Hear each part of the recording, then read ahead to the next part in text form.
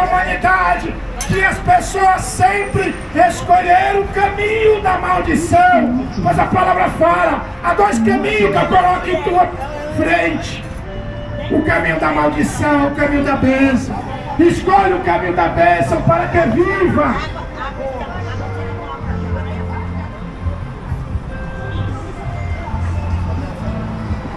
Pôncio Pilatos ele tinha toda a autoridade sobre o exército romano.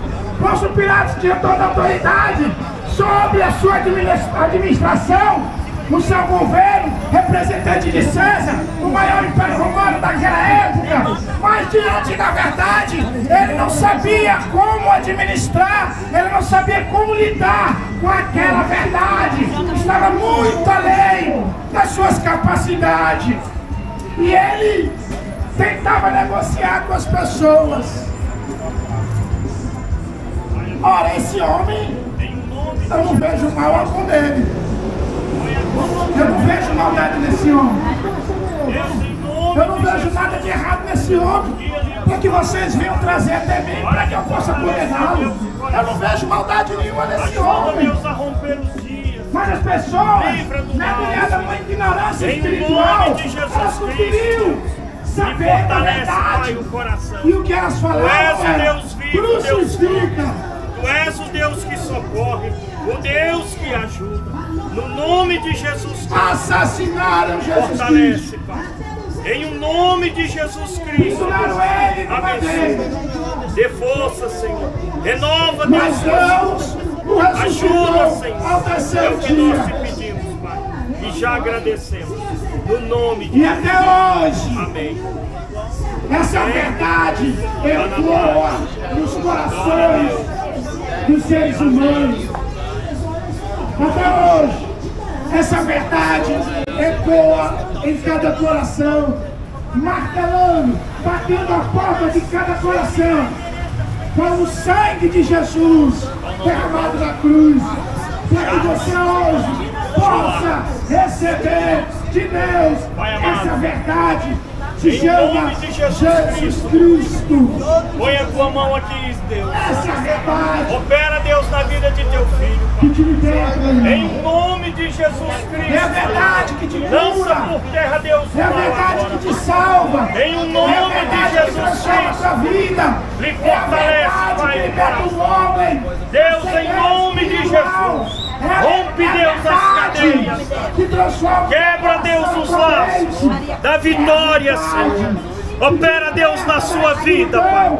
Em o nome de Jesus Cristo. No mundo espiritual, Deus. Quebra agora, Deus, todo o intento do mal, Pai. Visita-lhe o coração, Pai, para ser reto, para ser fiel, para ser forte. Em o nome de Jesus Cristo. Guia-lhe os passos, Pai. Move as águas, Pai. É Responde. Deus, nas É a verdade necessidades. que muda o coração, Socorre nas transforma a mente. e dá É a direção verdade nas que liberta o homem. Em É a verdade que tira o homem das trevas. É a verdade que desperta a alma que dorme no sono do pecado. É a verdade que traz o homem de volta à presença de Deus, que renova a aliança quebrada pelo pecado. A consequência do pecado, meu irmão, é a morte. A consequência do pecado, de uma vida sem Deus, irmão, é a perdição eterna. Satanás semeia a mentira no coração do homem.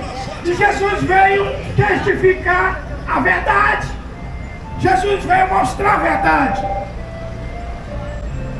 Jesus Cristo veio revelar a verdade para o homem poder viver pela verdade. Deus deu um mandamento para Adão e Eva, lá no jardim do Éden. E qual foi o mandamento, irmão? O mandamento foi esse: Olha, você está vendo esta árvore que está plantada no meio do jardim do conhecimento do bem e do mal? Estou vendo. Então não toque nesse fruto, não coma desse fruto, porque no dia que dele comer, certamente morrereis. Eu quero dizer aqui para você, meu irmão, na interpretação do contexto do texto dessa palavra. Tecnicamente Deus disse, viva pela obediência à minha palavra, que procede da minha boca. Porque se você escolher viver segundo o teu próprio entendimento, fazendo a tua própria vontade, fora da minha palavra, certamente morrerás. Viva pela obediência à palavra, à verdade de Cristo de Deus. Viva pela obediência à minha palavra. Eu indico a vocês vivam pela obediência à minha palavra, não desobedeçam a minha palavra, não desobedeçam ao meu mandamento, não me desobedeçam, vivam por obediência à minha palavra, pois se obedeceres a minha palavra, se obedeceres o meu mandamento, certamente vivereis, mas se desobedecerem a minha palavra, se desobedecerem o meu mandamento, certamente morrereis. Então Adão e Eva conheciam a verdade, conheciam a palavra, porque receberam de, da boca de Deus a palavra, a palavra de vida. Não comam, não façam isso, senão morrerem.